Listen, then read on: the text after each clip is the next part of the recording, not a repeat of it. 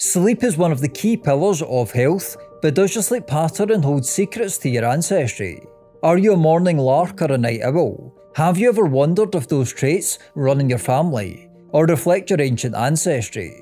Well, recent research suggests that there are real connections between how we sleep and our ancestors, as well as other variables such as latitude and social customs. Now, according to one popular model, there are four main sleep chronotypes in modern humans today that are named after animals. These are bear, wolf, lion, and dolphin.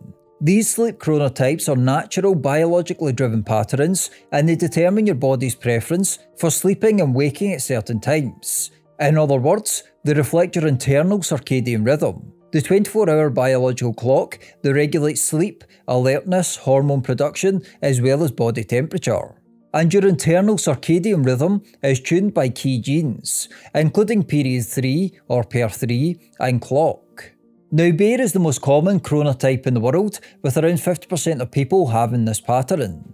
If you're a bear, your natural wake up time is around 7 to 8 am, and your peak alertness is roughly between around 10 am and 2 pm. The time you naturally want to go to sleep is quite standard as well, at around 11 pm with bears tending to follow the solar cycle in general. Lions, on the other hand, are early risers. Their best wake up time is more like 5 to 6 am, and they are most productive in the morning. Lions have an earlier sleep time though, of between 9 and 10 pm. Then there's the night owls or wolves, the real party animals. People with this chronotype naturally want to wake up later, and their peak alertness is often late afternoon and into the evening. Their natural sleep time is late as well though, between around 12 and 1am or later. Wolves are often very creative types in general, but they can find a standard 9 to 5 work schedule difficult given their natural sleep preferences. Now, the final category are dolphins, the rarest group, with only around 10% of people having this chronotype. Dolphins are much more variable with their sleep schedule, and this category gets its name from the ability of real dolphins to stay alert even while they're sleeping. People with this chronotype are often known as light sleepers and have higher rates of insomnia and disrupted sleep. Now, this is not to say, of course, that you can't wake up at different times and go to bed at different times if you've had a, a good night out or whatever. And behavioural habits, such as safely getting enough light in your eye at the same time every morning, can also help set your internal circadian rhythm. Anyone who is a follower of the Andrew Huberman podcast, a neuroscientist, will know this. And as people age as well, their chronotype typically shifts earlier in the day. Some people also prefer different terms rather than the bear, lion, wolf, and dolphin model. But regardless of models and terms, everyone tends to have a natural preference hardwired in their DNA, and there is variety across the human population. These are genetic predispositions, they mean you tend to be more of a morning person, an evening owl, or somewhere in between. Now, you can do a sleep chronotype test online, which is just answering a few questions. It's free as well. I'm not sure how scientific these things are, but I done one recently, and it turns out I'm a bear. And this definitely makes sense for me. I certainly feel that my peak alertness is between around 10am and 2 to 3pm. If I've got real cognitive work to do, such as writing and researching a video script or something like that, or some boring tax thing I need to do, that's the hours I definitely have the most cognitive energy. I can get the most work done in that period. But you may be different. Now, before we go on and look at the links with ancestry, you may be wondering why people have different chronotypes in general. Well, there are various reasons for this, but one is to do with survival. In hunter-gatherer groups, having individuals wake up at different times help protect the group from predators or neighbouring tribes. A fascinating 2017 paper looked at a group of hunter-gatherers in Tanzania, for instance. They found that all subjects, over the course of 20 days of observation, were simultaneously asleep for only 18 minutes in total. Or to put this another way, one or more individuals were awake or just in the light stages of sleep during 99.8% of sample periods. And this study found that this lack of synchrony in sleep was produced by chronotype variation. So in hunter-gatherer times, having some members of the group be more morning types, others evening owls, and many somewhere in between, meant that someone was pretty much always on guard in case of threats arising.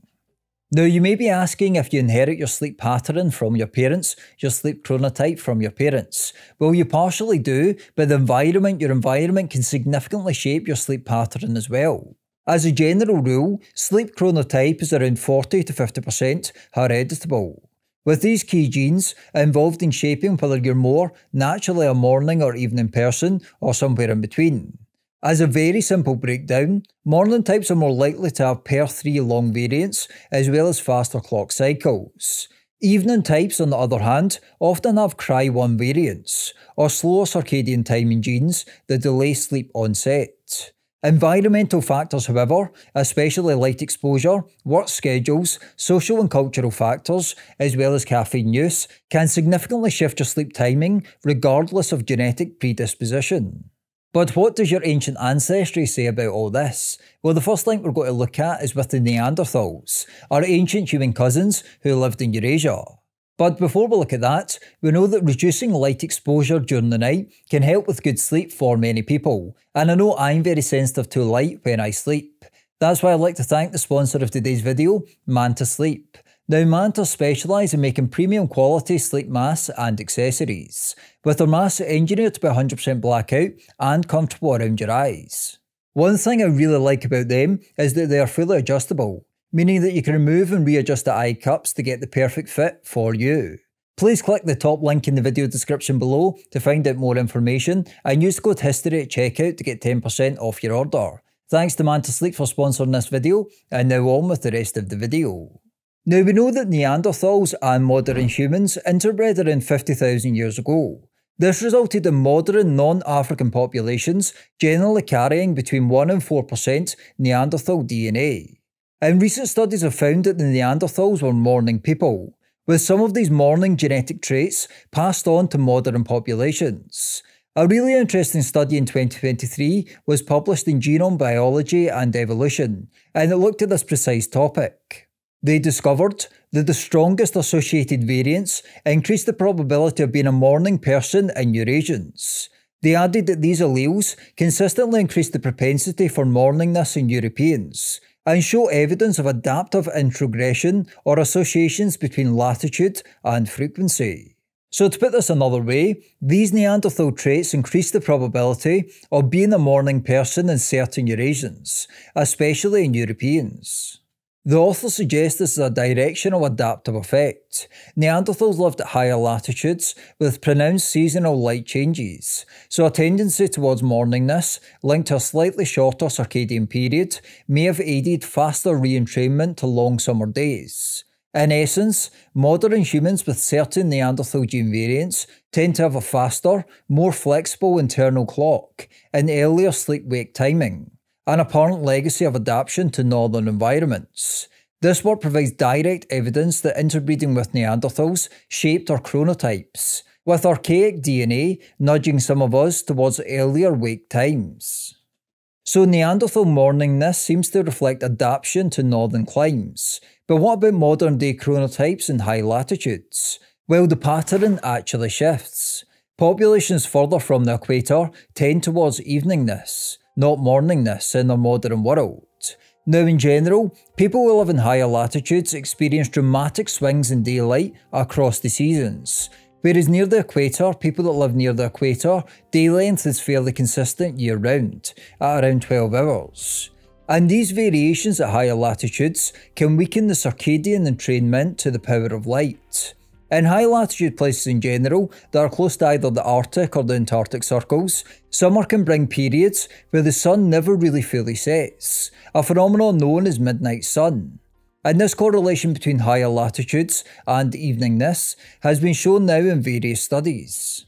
A 2017 systematic review in Nature, for instance, found this they analysed 35,589 individuals across 28 countries and found that evening orientation correlated with higher latitude, longer days and later sunsets, while morning orientation correlated with higher average temperatures. Another study in Brazil confirmed delays in sleep timing at higher latitudes due to both earlier sunrises in summer and later sunsets in winter, contributing to delayed circadian rhythms. Sleep schedules are even more complex than this though, as cultural and social factors also need to be considered as variables. In Spain, for instance, a kind of mid latitude country in general, we know they have a culture of siestas and they also have a culture of late dinners with family and friends. And sometimes people in Spain don't sit down to eat until around 10 pm. And we will look at when Spanish people typically go to bed, their average bedtime a little later in the video, as well as numerous other countries. So while Neanderthal introgression nudged some people towards morningness, which is seemingly a genetic legacy of northern adaptation, Today's environmental light patterns, artificial lighting in general, weakened natural cues and social schedules tend to push higher latitude populations towards eveningness. Now, another link between sleep and certain populations came in a 2005 study published in the Journal of Biological Rhythms. Now, this paper investigated the global variation in a variable number tandem repeat in the PER3 clock gene. Now, despite this complex language that's quite hard to say, this basically occurs in two forms a 4 repeat allele previously linked to eveningness, and a 5 repeat allele linked to morningness. The team genotyped individuals from 25 diverse indigenous populations plus several US groups. They compared allele frequencies and testing for correlations with environmental factors like latitude or day length. Now, one really interesting finding is that they found that some East Asian populations in this dataset had a high frequency of the eveningness linked allele, the 4 repeat PER3 allele. For example, it appeared in nearly 90% of Mongolian samples, compared with much lower levels in parts of Oceania and Africa. While this suggests that certain chronotype related genetic variants may be more common in some populations than others, the authors found no evidence that these differences are the result of adaptation to local light environments. Instead, they likely reflect neutral genetic drift and demographic history. Moreover, PER3 is only one of many genes influencing sleep wake preferences and environmental and lifestyle factors can easily outweigh genetic predisposition when it comes to actual chronotypes. So there is a loose link here with East Asian populations to some extent, but the full picture is much more complex. But how does all this influence modern populations? Which countries around the world have the earliest sleep times and which have the latest? And these are obviously influenced by various other factors, as well as genetics and ancestry, that include climate, work schedules, as well as social and cultural norms. Now, as far as the earliest wake up time in the world, South Africa is number one, with an average time of 6.24am. This is followed by Colombia, Costa Rica, Indonesia, and Mexico. Other notable early risers include New Zealand, Australia, Switzerland, Denmark, and the US at 7.20am.